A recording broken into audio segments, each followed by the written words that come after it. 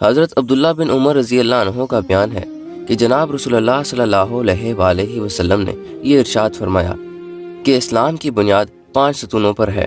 पहला ये कि इस हकीकत की शहादत देना कि अल्लाह के सिवा कोई मबूद नहीं और मोहम्मद सल्लल्लाहु अलैहि वसल्लम अल्लाह के बंदे और उसके रसूल हैं।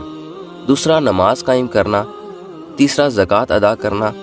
चौथा बैतुल्ला का हज करना। और पांचवा, रमज़ान के रोज़े रखना है।